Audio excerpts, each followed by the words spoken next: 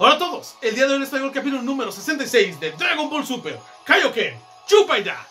Este capítulo tiene la derrota de Moro al implosionar debido a que destrozan el cristal de su frente que contenía el poder de Merus. Vamos a ver que Whis y Bills son solicitados de urgencia con el supremo sacerdote para hablar sobre Merus. Y tenemos la energía sagrada o el poder divino de U en este capítulo. Da un final de saga, el cual viene con una referencia a Naruto muy fuerte que puede ser criticada igual. Pero el detalle sería, U tiene este poder divino. No se ve ese poder divino en GT. Lo que puedo entender es de que ahorita que entregó el poder divino, simple y sencillamente ya no lo tiene y ya no lo va a generar porque ya no es un dios. Si el problema fuera de que sigue generando ki de dios, ese sería el problema. Ese ki de dios, ¿por qué no lo uso en GT? Porque tendría que haber un retcon de todo lo que está pasando. Ahora, el otro punto sería el de Vegeta. Vegeta está utilizando el Spirit Fusion para tratar de debilitar a Moro, pero no lo puede hacer de manera infinita porque le están absorbiendo la energía.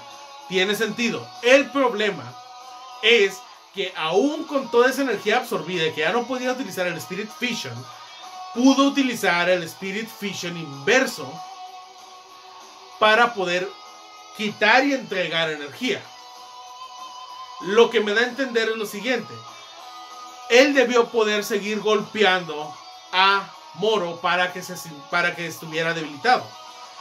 Ah, y me van a decir, bueno, es que él no se había enterado de esta técnica del Spirit Fusion inverso hasta que se lo comentó Piccolo.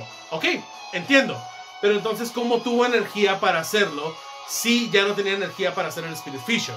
Y de acuerdo a él, es el mismo concepto lo que está haciendo. Prácticamente la misma energía. Luego, también el problema sería, entonces nada más puedes utilizar el Spirit Fusion en tu forma azul. Porque esa pues, tendría que ser también otra mentira.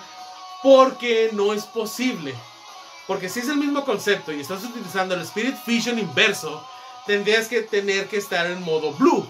Y aquí vemos que no lo hace así, lo hace en su modo normal para entregar energía. Otro, Moro se atarugó. El cristal que tenía en la frente simplemente lo ocultó con más carne. Lo que pudo hacer, porque vimos de aquí, podía generar brazos, podía hacerse incrementar su tamaño, podía haber ocultado el cristal en cualquier otra parte de su cuerpo y hubiera ganado. Simple y sencillamente no lo hizo. La mejor forma que hubiera acabado esto sin necesidad de la referencia de, del Susano que aplica Goku cuando está reteniendo a Moro, que ahí viene nuevamente el problema. ¿Qué detenía a Moro? De también retener esta forma divina de Goku. Porque ahí nada más detuvo dos brazos de Moro. Vimos que sacó miles. Bien pudo haberlo separado, se pudo haber movido. Algo pudo haber hecho Moro pudo haber aparecido en otra parte del planeta y haber hecho completamente inservibles los esfuerzos de los guerreros Z. Le falló esto. Siento que la mejor opción hubiera sido Goku recibe de golpe la energía del ki divino de U y como flecha inmediatamente en cuanto recibe gasta toda la energía para estrellarse contra el cristal y acabar con Moro de un segundo, así, rapidísimo, un solo movimiento. Te hubieras evitado el tema de tener esta proyección astral de esta entidad divina, muy similar al Susano, y hubiera tenido una mejor idea de cómo lo derrotaste sin que Moro metiera las manos prácticamente. En fin, se acaba el arco y posiblemente lo que sigue es la explicación de qué va a suceder con las memorias de Merus y con todos los que estuvieron involucrados. ¿verdad? ¿Cuál va, ¿Cuáles van a ser las repercusiones de que Merus haya tenido involucramiento en esta pelea? Y eso es todo. Recuerda que si te gustó el video, me gusta, compartir y suscribirte para que el canal siga creciendo. Gracias y hasta luego.